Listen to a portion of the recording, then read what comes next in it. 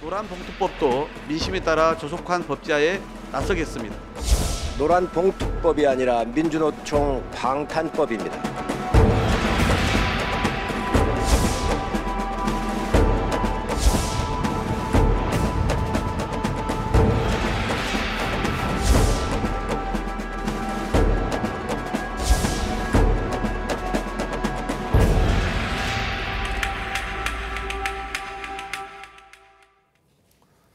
보신 대로 노조가 파업을 해도 기업이 손해배상 청구를 못하게 하는 이른바 노란 봉투법 찬반 논란이 커지고 있습니다. 네, 관련해서 장윤미, 최진영 변호사와 함께 자세한 이야기 나눠보도록 하겠습니다. 안녕하세요. 네, 반갑습니다. 안녕하세요.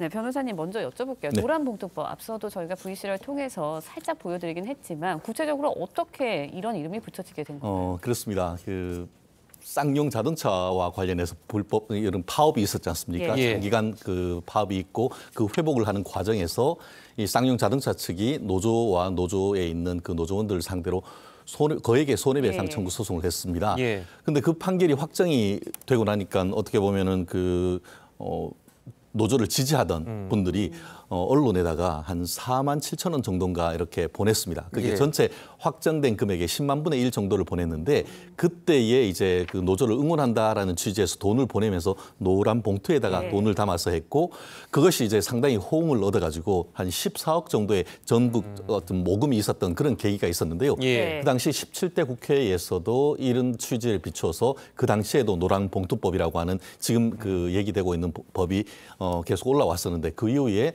뭐 20대, 뭐 19대 이럴 때도 계속 법이 발의됐습니다만 어, 지나치게 어떻게 보면은 그 노조를 보호하고 어, 불법 파업을 어떻게 보면 조장한다라는 그런 취지의 선 반대 여론에 미쳐가지고 좌초됐었는데 이번에 또 다시 민주당과 정의당이 같이 어떤 공동 발의를 하면서 오늘에 이른 것 같습니다. 예. 이 조금 전에 이제 그 변호사님께서도 말씀을 하셨지만 네. 지금 현재 법안으로도 합법적인 쟁의나 투쟁 그렇습니다. 상태에서 발생한 피해에 대해서는 손해배상 청구를 할 수 없 다고 네. 법으로 돼 있잖아요.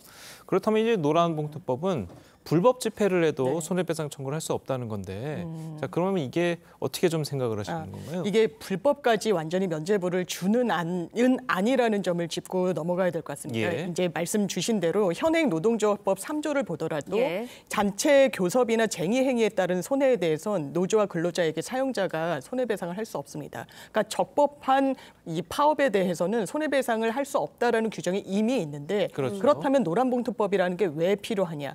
지금 노동 관계 그리고 노사 관계가 상당히 많이 종전보다 변형이 됐습니다. 예. 이 말인즉슨 직접 고용을 하는 것이 아니라 하청업체 등을 통해 가지고 사실 이 원청이 직접 책임을 지지 않는 구조로 많이 재편이 돼 있습니다. 그렇다면 하청업체 근로자가 사실상 본인의 어떤 지위와 관련해서 직접 영향력을 갖는 원청을 상대로 하는 이런 파업 같은 경우에는 이 교섭권이 없기 때문에 노동조합법에 따르면 불법이 되는 겁니다. 굉장히 좀 포괄적으로 불법 파업의 범위가 넓어지는 부분이 있어서 최소한 개인을 상대로 한 손해배상에 대해서는 좀 제어를 하는 게 맞지 않겠느냐라는 부분이 있고 또 거액의 어떤 그 거의 지금 대우조선 해양 같은 경우에도 470억 원을 손해배상을 했습니다.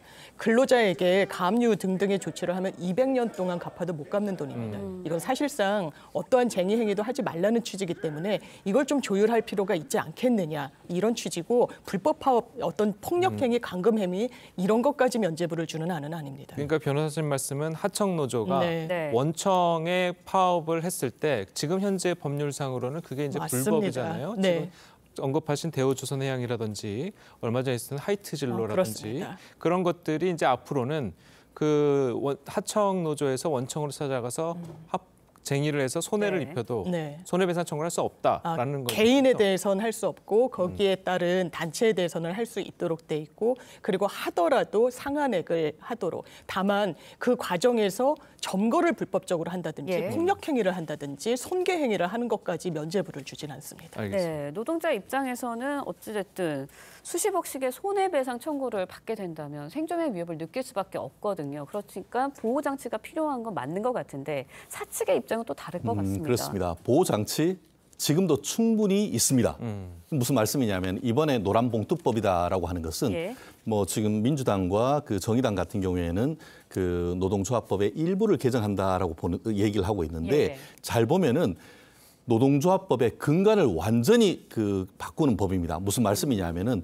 노동조합법에 이번에 문제가 되는 것이 이조 사용자와 근로자의 정의에 관한 부분을 굉장히 넓히고 있고 또 노동조합법 삼조에 현재에도 보면은 손해배상 청구의 제한이라고 해서 합법적인 그 파업 관련해서는 민사상 손해배상 예. 책임을 면제하고 있고 또그 노동조합법 사조 같은 경우에는 정당 행위라고 해서 형법상의 어떤 책임도 완전히 면제시켜줍니다. 다만 예외적으로 지금도 보면은 어떠한 경우에도 폭력이나 파괴행위에 대한 것은 정당행위로 면책되지 않는다 이렇게 돼 있는데요.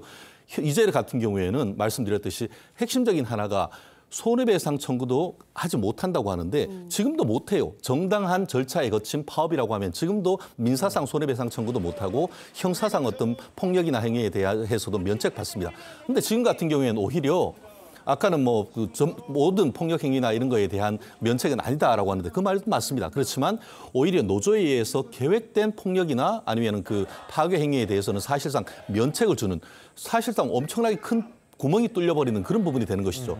아시다시피 헌법상 이따 뭐 말씀드리겠습니다만 불법 행위를 치면은 민법 750조에 의해서 누구든지 고의나 과실에 의한 위법 행위에 대해서는 손해배상 책임을 져야 되는 겁니다.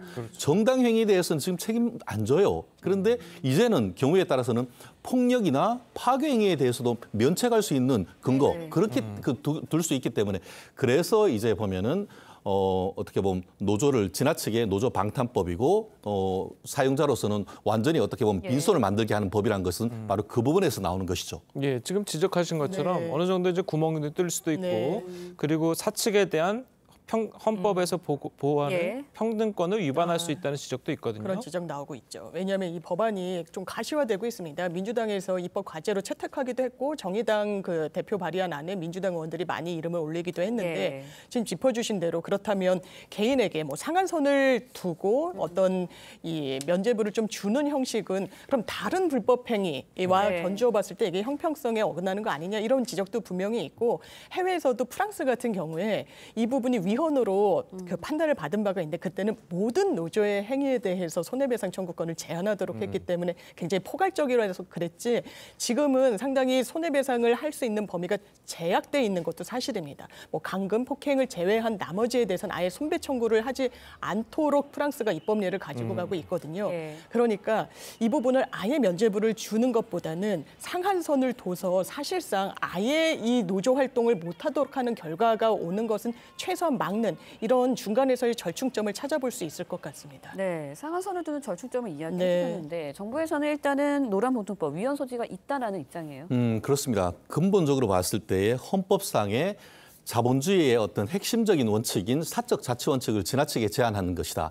제한을 할 수 있습니다. 법률적으로. 그렇지만 본질적 내용을 침해할 수는 없는 것인데 결국 이번 같은 경우에는 기업 영업의 자유라든가 아니면 그 재산권에 대한 본질적 침해이기 때문에 위헌이다라는 얘기가 뜨고 있고 더불어서 지나치게 노조만 특히 보면은 지금 그 손해배상 청구가 되고 있는 것이 예. 민주노총 사업장과 관련되는 그 부분이 많은데 민주노총과 관련되는 대형 어떻게 보면은 그 정규직 노조에 대해서만 거의 뭐 핵무기급 그, 예. 폭- 그 어떤 무기를 주기 때문에 되는 반면에 사, 사측 같은 경우에는 뭐 핵무기에 대해서 수류탄 던지는 그런 정도밖에 안 된단 말이에요. 그렇기 때문에 이른바 무기 대등 원칙의 현저히 어긋나기 때문에 평등 원칙에도 어긋난다 이런 얘기가 지금 나오고 있습니다. 예. 결국 그 이와 같은 문제는 근본은 뭐냐면은 재기업 정규직과 비정규직 사이에 어떻게 보면 노동 구조의 이중화에서 나오는 겁니다. 지금 계속 문제되는 것이 대우해양조선도 정규직은 그거 파업하지 말라고 했었어요. 그런데 비정규직 하청 노동자들 같은 경우에 그와 같은 걸 하면서 손해배상 청구까지 이르게 된 것인데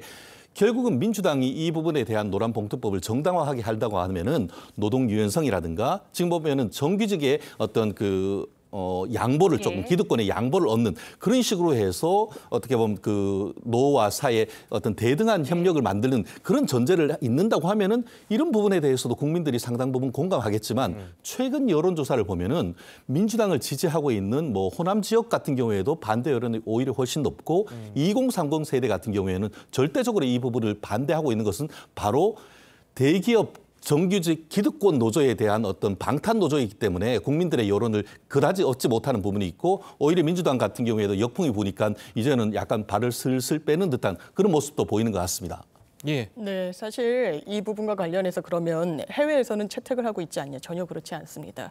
이 말씀드린 대로 이 쌍용 같은 경우에는 정리 해고였지만 하청업체 직원들이 파업을 했다는 의미에서 불법으로 규정이 됐고 47억 원의 손해배상 소송을 당했습니다. 대우 조선해양 470억 이거 개인이 감당할 수 있는 금액이 아닙니다. 사실상 하청업체 근로자들은 파업을 하지 말라라는 말입니다. 그렇다면 여기서 하나의 좀 합의점을 사회적으로 도출해내는 게 문제인 것인가 그렇게 생각하지 않습니다. 영국 같은 경우는 노조의 규모에 따라서 예. 이 손해배상을 할 수 있는 상한액을 정해놓고 있습니다. 이를테면 뭐 노조의 일인당 손해배상 액수가 조합원 수가 5천 명, 명 이하이면 6천만 원으로 자릅니다. 아무리 큰 규모의 대규모 노조원을 확보하고 있어도 16억 원을 넘지 않습니다.